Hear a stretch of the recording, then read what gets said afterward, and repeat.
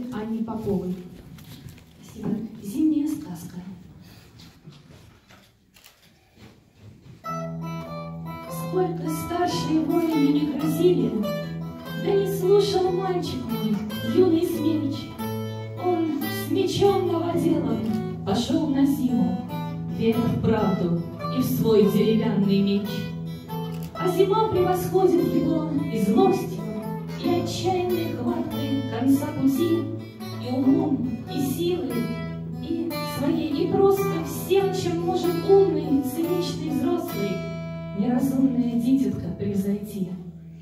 Он идет сквозь тлен и метели и корчи, Пред собой герой, перед ней червяк. А зима тут даже и не хохочет, Бледно-синие губы с мешком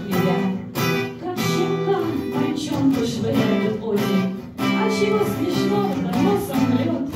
Вот и все, повалился, ног не возит. Но гляди-ка, морщится и встает, Раздирает слепленные ресницы, Утирает соленую кровь с лица, Бьет мечом, расцветшим лихой зорницей, И трясутся стены ее дворца. Оползает трухлявым сугробом морг,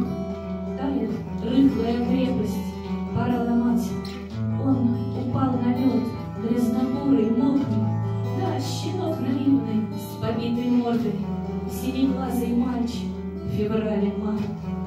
Что ж, зима, неудачна была затея, Хмурь не хмурь, подтаявшее чего, От удара твое ледяное тело Уходило в парную земную темень, В тень, в тенета света, в тепло, текло.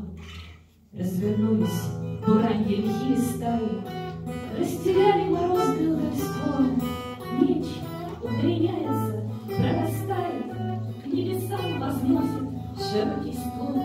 А когда предвесеннее хлынет войско, Запоздало побоище окружив, Все увидят, парень белее воска Под цветущей кроной один лежит запит, душист и мягче. Нынче смерть попьет, но жизнь в полет. На земле лежит синеглазые